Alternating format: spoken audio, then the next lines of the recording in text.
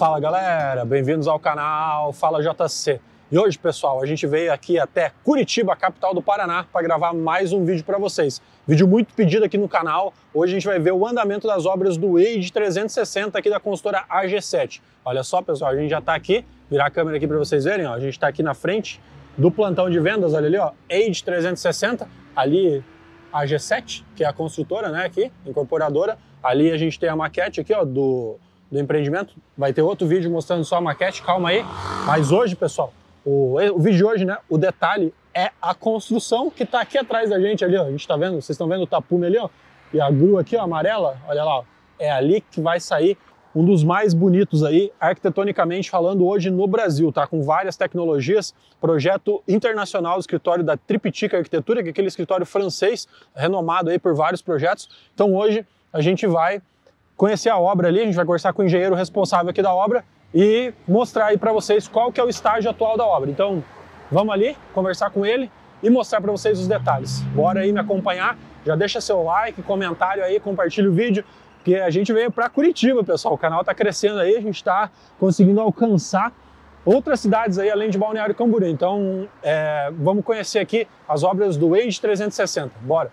Bom, pessoal, a gente está aqui agora no escritório de engenharia é, aqui da obra do Age 360 com o engenheiro Carlos. É, ele vai se apresentar aqui para vocês rapidamente.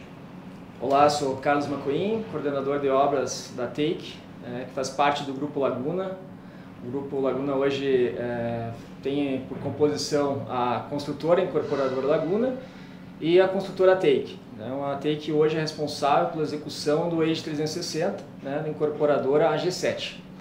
Esse é um projeto bem desafiador né, para a gente, é um projeto bem complexo em termos de estrutura.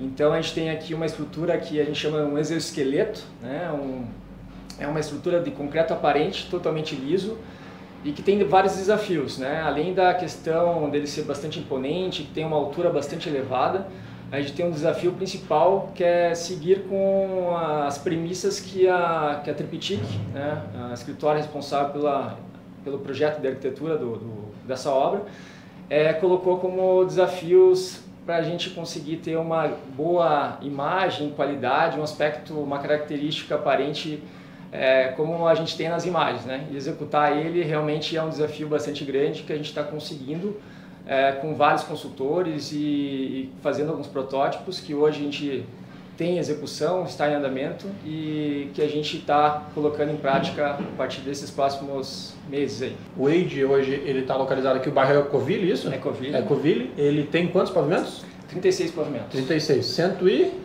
132 metros total e 123 metros da altura do N1, que é o piso térreo. Térreo. Uhum. É, é o maior prédio em execução hoje em Curitiba, em altura. Sim, em termos de altura ele é o maior, né? Ele tá, ele vai ser o segundo maior se colocar como altura total de prédio residencial é, uhum. e comercial. Mas em termos de residencial ele é uma, vai ser um prédio mais alto. Mais alto residencial então de Curitiba. Isso. Legal. Ele é um projeto bem icônico, né? Vocês sabem, vocês acompanharam aí, projeto arquitetônico lindíssimo, como a gente já mencionou, que traz vários, que hoje às vezes fica pra gente vários é, desafios. Desafios, né? A gente pode Sim. falar assim é, é, o primeiro, um dos primeiros em concreto aparente aqui. Você pode, eu tenho até mais experiência que eu tenho algum já em Curitiba com é, é, a gente aparente. Tem, a gente tem essa característica em alguns empreendimentos, porém esse por ser a, toda a estrutura, né, todas as assim, o que que acontece? É, para todo mundo entender um pouco melhor, a maioria dos pilares eles se concentram na periferia da torre, né? Então por isso a grande dificuldade, o grande desafio que é fazer esse concreto é, ser liso, então a gente tem sim alguns empreendimentos, é, tanto em São Paulo como aqui, né, com concreto aparente, mas não com, com essa formatação, com essas características que a gente vai mostrar um pouco melhor para vocês. E o principal desafio foi fazer um sistema construtivo que a gente conseguisse é, executar ele sem as, as furações necessárias para fazer o travamento né, de pilares e vigas. São os furos que a gente tem depois é, utilizados ali para utilizar as agulhas. Né? Então, assim, hoje a gente já conseguiu um sistema inovador, é, sistema de fora, a gente é, foi atrás de empresas né, que são de fora, que tem um know-how, tem um, uma tecnologia avançada. Né? No caso, hoje a gente tem uma empresa que é austríaca, que a gente conseguiu fechar o sistema. É uma empresa que já trabalhou em, em grandes empreendimentos pelo mundo. A gente tem essa empresa chama Doca, é, empresa que trouxe para a gente tanto o sistema de escoramento como o sistema de forma metálica, para trazer todos esses benefícios que eu falei para vocês agora há pouco, é, que fez grandes prédios, né? um dos maiores prédios, um prédios mais altos em Nova York, fez inclusive o Burj Khalifa, parte do Burj Khalifa é, em Dubai. Então a gente foi realmente atrás de sistemas que conseguissem trazer para a gente essa eficiência e essa é, precisão né, na forma geométrica do prédio que a gente tem agora por vencer aí nos próximos meses. É, ele, a gente pode falar que ele, ele, é, ele é icônico, né? Então, Sim. ele é diferente. É emblemático. É emblemático, isso. Esse, esse exoesqueleto dele por Sim, fora. A característica principal é, é o carro-chefe do, do, dessa obra é o concreto aparente. É o concreto aparente. Então, isso, para ter um aspecto também, além, claro, é o aspecto estrutural, vai sustentar toda a torre, ele tem que ter um aspecto bonito também, arquitetonicamente falando. Exatamente. Isso não é fácil, né? A gente sabe que Sim. o concreto ele é um material rústico que, que ele, ele não é tão bonito aos olhos, digamos assim, se Sim. você não executar ele de maneira correta, que é isso que, que, que, vocês estão buscando, né? Até a gente vai mostrar aqui uma apresentação do sistema de forma que vai ser utilizado e depois a gente mostra já um teste lá fora que foi feito, pode ser? Perfeito. É, além dos, dos desafios do sistema, né, a gente também tem a questão do desafio do concreto, né, do, do, do elemento mesmo. Então a gente, a gente foi atrás também de é, hoje tem um traço já definido, né? Esse concreto ele possui vários aditivos, né? Concreto fluido, alta densável, tá? É um concreto que permite a gente ter uma execução bem feita, com menos problemas, menos vícios construtivos possíveis e que a gente consegue também ter uma, uma exatidão, assim, a gente consegue ter exatamente aquilo que foi projetado, uma imagem muito fiel àquilo que a gente tem é, projetado pela Triptych. Né? Legal. Alguns desafios que a gente tem pela torre, né? nessa obra ela tem é, no 21º e 22º andar uma área comum, né? com piscina, coberta, academia, sauna. Então, um dos... É aquela, é só, desculpa te interromper, aquela parte verde ali, né? Isso. É essa parte verde, né? Uhum. No total são 33 apartamentos, né? A gente tem apartamentos que vão de 208 metros quadrados a 609 metros quadrados, que são os gardens, né? Que a gente possui na torre. Aqui na primeira fase a gente tem dois apartamentos por andar, aí a gente começa a ter um garden já na, na parte mais baixa, e daí até o 21º e 22º a gente tem os desafios que são a parte de inclinação da torre. Então são, são elementos ali estruturais é, são todos pilares que fazem parte da estrutura e que a gente tem, um, um, como a gente falou, um desafio grande para a execução. Os pilares inclinados ali do... Os pilares inclinados que a gente começa a ter a partir dos galhos. Né? Vai, ficar, vai ficar muito bonito, né? Sim, mas vai dar trabalho. Vai dar muito trabalho. É, e a gente hoje já tem, né, como eu falei, a primeira fase aqui já formatada, a gente já tem outros sistemas que a gente desenvolveu para fazer essa segunda etapa, né, foram pensados em vários tipos de sistemas e hoje o sistema que a gente está adotando realmente é um sistema que consegue trazer toda essa parte de fidelidade à, à imagem do projeto.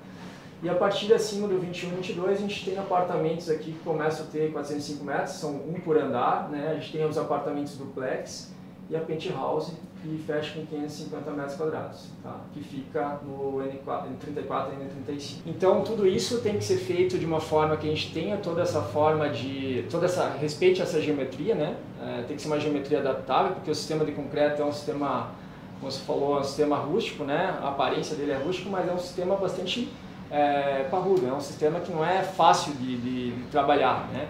Então, é, tudo isso é, é, também tem que ser viável. Né? Então, a gente fez todo esse estudo, essa análise né, nos últimos meses para conseguir chegar nesse sistema. Concreto de 50 MPa, tá? que a gente tem até o do terceiro andar, e a partir do do terceiro andar a gente reduz ele para 35 MPa. É o concreto de alta resistência, né? É o mesmo usado nos prédios de balneário, similar ali, eu digo na resistência. É, Isso.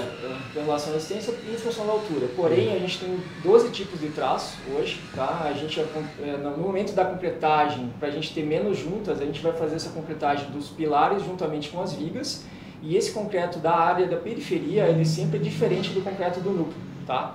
Então, o concreto especial né, é o concreto que a gente vai utilizar em toda essa periferia. Legal. Aqui é um pouco da forma que a gente executou em escala real, aí entre o pilar 1 e o pilar 2, ou seja, a gente fez um protótipo que a gente vai mostrar depois ali para vocês uhum. como ele ficou, é, em escala real do que a gente vai executar na obra, tá? com formas metálicas, né, sistema é, modular, sistema metálico, e para a gente conseguir ganhar, é, ter a característica que é a, aquela característica aparente que a gente falou do concreto, liso, além da chapa metálica, a gente usou um sistema de compensado é, com placa compensado plastificado por dentro para realmente ter uma característica de concreto liso, né? Como você perguntou antes, existem sistemas, às vezes tem concreto com detalhes, né? Assim, concreto liso mesmo, é, com esse exoesqueleto é um dos primeiros, assim, né? Que só, só, só para o pessoal entender, a, a, esse o que o está sendo executado aqui, os pilares e as vigas, elas vão ficar exatamente daquela forma no final. Que normalmente num prédio aí é feito um pilar, depois é feito reboco ali, enfim, colocado um revestimento cerâmico, por exemplo. Aqui, aqui não tem isso. Aqui é executou, é feito depois uma impermeabilização e, e Exatamente. aquilo ali fica, fica aparente. Por isso o nome, concreto aparente. Concreto aparente. A gente tem um tratamento, né, que é feito um lixamento para tirar até o material que a gente utilizou na, na parte de concretagem, tirar desmoldante, tirar as impurezas né, do, do concreto, vamos assim falar. E tá, depois é um hidrofugante. Na verdade, é um tratamento superficial ali para a gente conseguir também ter uma boa característica, não só aparente, mas também é, fazer com que o concreto, o concreto ele é orgânico, né? Ele tem uma vida ali, então ele precisa ser realmente cuidado ao longo do tempo para também não apresentar problemas. Esses vários tipos de aditivos são para eliminar problemas com fissuras, problemas que vão aparecer, que podem aparecer ao longo, né, dos próximos 50 e por aí vai, né, anos, porque é, realmente é, o projeto tem uma vida útil muito grande. Ó. Aqui um pouco mais das chapas que a gente utilizou, que a gente vai mostrar. A gente, tá? Daqui a pouco a gente já vai descer lá nova, vai mostrar. É, sistema é, de chapa metálica. E esse foi realmente o protótipo ali na execução. Então você pode verificar que todo o travamento que a gente tem é sempre por fora, né? A gente não tem o um sistema de agulhas internas, tá? Então esse é um, foi uma das das evoluções que a gente conseguiu né, é, ao longo do tempo. Não, a gente não conseguiu de, de não tem um sistema, por mais que a gente busque sistemas de fora, a característica dessa obra é bem diferente de todas as outras obras que a gente já teve. Né? Então, até, até, por, até nesse sistema que a gente trouxe, é, foi um desafio com a própria empresa. Né? A gente fez um estudo com outras empresas também, a que a gente conseguiu solucionar é, foi essa que a gente está mostrando para vocês. São alguns meses de estudo para poder chegar no resultado ideal, certo? Exatamente. É, todo esse, toda essa, esses pilares, né, essa construção de pilares e vigas, ela está delimitada nessa área em amarelo, né? Nessa área que a gente está mostrando na periferia da torre. Né? A seção da torre ela vai mudando a gente tem um núcleo né, da, do da núcleo da obra, né, o core assim, que a gente, a gente acaba colocando, né, que é o coração da obra, né, é um bloco de 600 metros cúbicos, que a gente inclusive já executou. É, por ter um volume alto, a gente acabou tendo que resfriar ele, fazendo em duas etapas, é, por, pela altura também. E ele possui, na verdade, esse coração da obra, ele tem todos os postos, os elevadores e a escadaria, que é o núcleo da, da torre. Núcleo né? rígido, né?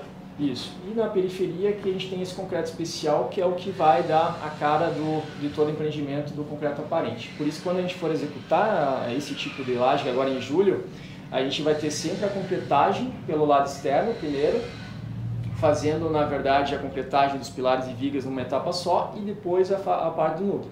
Aí a gente tem vários cuidados, a bomba não pode passar antes do concreto convencional porque pode sujar esse concreto, né, por, por, aditivos que a gente não vai usar. Então, realmente é um cuidado especial que a gente tem em uma obra é, desse porte e desse nível. É, acho que a gente pode agora, então, a gente deu uma, um geral aqui né, da, da obra e do, dos processos. A gente pode dar uma olhadinha lá no canteiro agora, pode ser, Carlos? E daí a gente aproveita e mostra ali aquele teste que já foi feito, que vai ser replicado depois. O pessoal Sim. vai conseguir entender como que vai, vai ficar aí. Perfeito, Beleza? vamos lá. Vamos lá, então. Bom, a gente está aqui no protótipo agora, é, com a escala real de como a gente vai executar a obra, né? Então esse protótipo a gente utilizou o mesmo tipo de aço, o mesmo tipo de concreto e já o sistema que a gente vai utilizar na torre. Né? Então como vocês podem observar aqui o travamento foi totalmente por fora, então a gente não tem a presença das agulhas internas fazendo o travamento do pilar e isso daí garante aquela questão estética. Né? Então você pode ver que a forma ficou geometricamente correta, ela não tem nenhum é, desalinhamento né? e ela não tem principalmente o travamento das agulhas. Então a característica dela aqui ficou respeitada. Esse pilar aqui é um dos principais.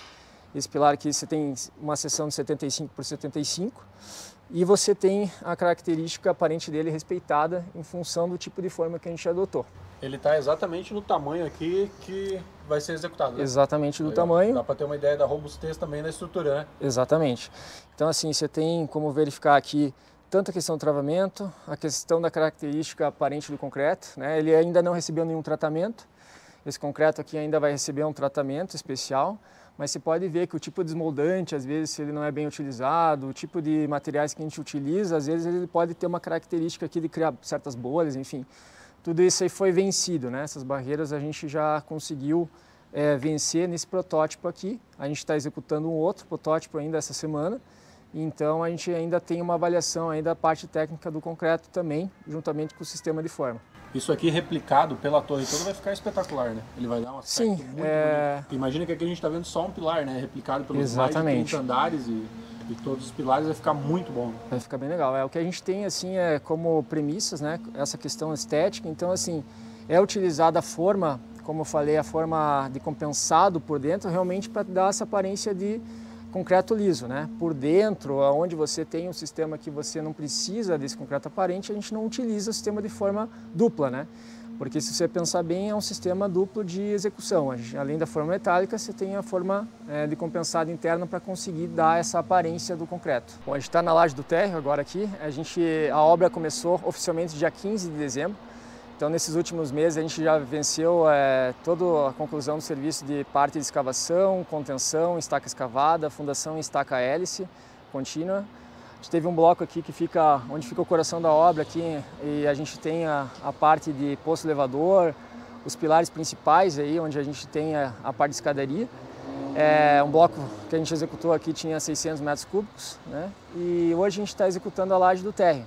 Então até o final desse mês a gente tem essa laje totalmente executada, que é a N1, e a partir de julho a gente começa a fazer a laje tipo. Tá? Essa projeção da torre deve é, ser finalizada até o final do primeiro semestre do ano que vem. Então, provavelmente em julho aí de 2022 a gente esteja terminando a execução da estrutura da torre. Bom, pessoal, então é isso. É, esse foi o vídeo aqui do acompanhamento das obras aqui com o Engenheiro Carlos. É, espero que vocês tenham gostado. Agora o que eu quero de vocês? Coloca aí só nos comentários sua opinião, se você gostou. É, se ficar com alguma dúvida também, coloca aí que a gente vai responder na medida do possível. E já está combinado aqui, assim que a estrutura começar Ser a subir, iniciada, sim. a gente vai fazer outro vídeo para mostrar esses Próximas pilares. Fases, ali. É, inclusive, estou bem curioso para ver esse, esses pilares aí. É, quando tiver vários aqui, inclusive as esperas já estão até aqui, né? A gente pode mostrar ali. Né? Sim, né? esses são os pilares da projeção da torre. Né? Aqui, aqui onde a gente está é exatamente onde vai estar tá a torre, né? Isso, aqui é exatamente onde tem o, o, esse daqui onde a gente tem a grua né, instalada é o posto do elevador social 1, ou seja, aqui a gente está delimitando bem o extremo né, da torre. Então é uma torre que vai até onde a gente tem aquele, aquelas vigas de transição ali. Legal, perfeito. Então tá pessoal, é isso. Acho que ficou legal o vídeo aí, a gente comentou. Para, para, é, uma perspectiva geral aí da obra. Queria agradecer aqui o Gero Carlos, obrigado aí que atendeu a gente. Obrigado a vocês. Agradecer também ali o Alfredo, é, da G7, enfim, convidou a gente para vir gravar aqui. E, enfim, não esquece de deixar seu comentário, seu like aí, é, se inscrever no canal, beleza? Muito obrigado a todo mundo que assistiu. Obrigado, Carlos, valeu. Valeu, obrigado. Valeu e até o próximo vídeo aí. Valeu. Até mais.